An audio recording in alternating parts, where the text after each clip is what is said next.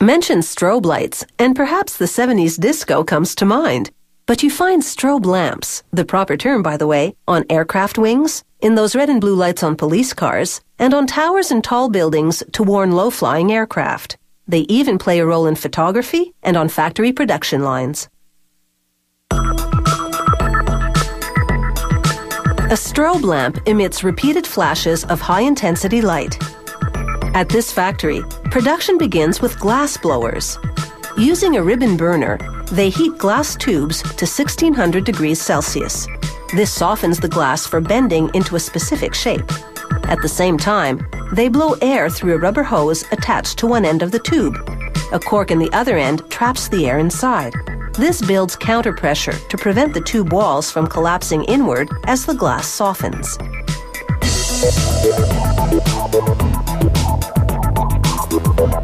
The size and shape of the glass tube varies by model, but its job is always the same to house electrodes, lead wires, and xenon gas.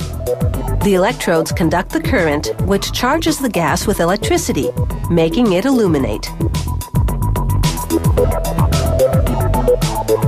This factory makes several strobe lamp models, some in large quantities for the mass market, others in small quantities, custom designed for specific clients. With mass produced models, after glass blowing, automated machines take over. Custom orders are handmade from start to finish. Workers make even the electrodes manually. They weigh a precise amount of metal powder and pour it into the cavity of a press that's similar to what pharmaceutical factories use to make pills. This powder is a blend of several different materials, but the company won't divulge what they are. The press applies four tons of pressure, compressing the powder into a pellet. The factory inspects every pellet to ensure it meets quality standards. The pellets then undergo a process called sintering. They bake for nine minutes in a hydrogen fueled oven, hydrogen being one of the hottest types of fuel.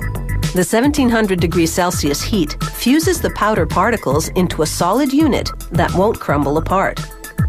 Next, they weld a lead wire to each electrode. Insert two electrodes, one for the positive current, one for the negative, into each glass tube, then melt that end of the tube closed. Then they attach a wire called a trigger lead. It works like a car's ignition, prompting a transformer to send a high voltage electric pulse to the electrodes, illuminating the gas.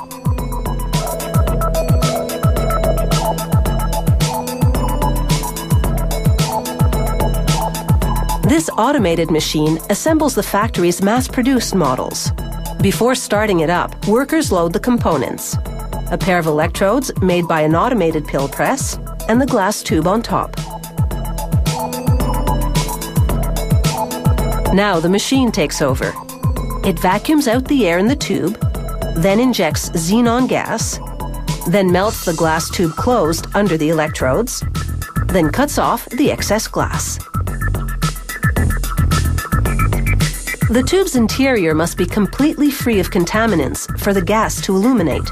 So just before the vacuum fill and seal operation, a hot coil encircles each tube to burn away any impurities. On custom made models, workers do all these steps manually. The strobe lamp is finished and ready for installation.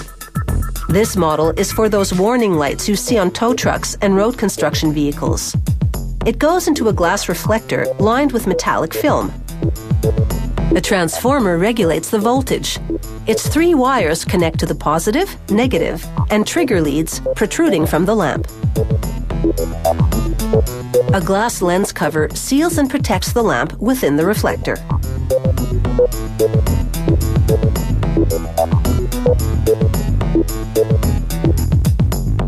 Another use for a strobe lamp is in a stroboscope, an industrial device that factories use to perform quality control inspections on high speed production lines. Once you calibrate the light pulses to the right interval, they visually stop the action so that cameras or workers can examine the goods. The size, shape, and configuration of a strobe lamp's components, along with voltage and other electrical specs, determine how long, how often, and how quickly the light flashes.